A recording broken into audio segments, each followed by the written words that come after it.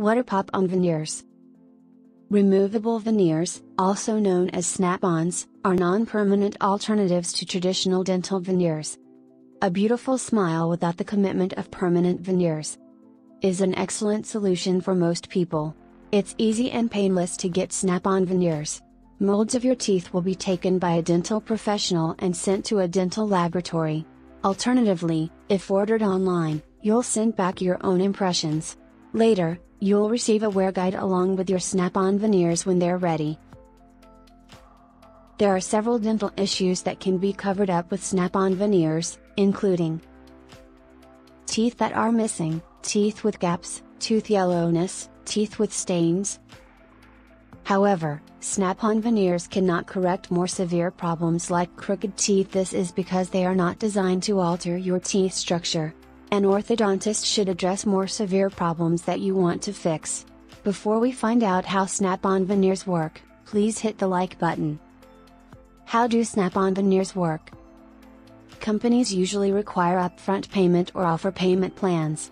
As soon as the impression kit is ready, they'll send it to you. Molds of your top or bottom arches are made with special putty and trays, then sent back to the company. In order to ensure the veneers fit perfectly over your arches, the company will use these molds. There is no rule that says you must wear them all the time. Putting them over your natural teeth is as easy as snapping them into place and going about your day. However, don't forget to brush and floss before you do this. While wearing veneers, most companies say you can eat and drink, just remember that this will lead to more frequent replacements. Do snap on veneers look natural? Traditional veneers look more natural than snap ons. Despite this, they still look good. In order to test out porcelain veneers before committing to them, many people choose snap on veneers. How safe are snap on veneers? Professional dental work is not substituted by clip-in veneers. For short-term use only, they can conceal cosmetic imperfections in your smile in a temporary manner. The veneers may sound harmless, but when they're used to hide problems like chips, cracks, decay, or missing teeth, they can actually do more harm than good.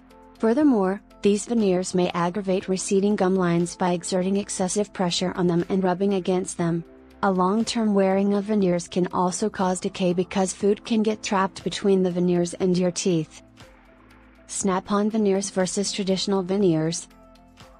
There are a number of similarities between snap-on veneers and their more traditional counterparts, permanently bonded veneers.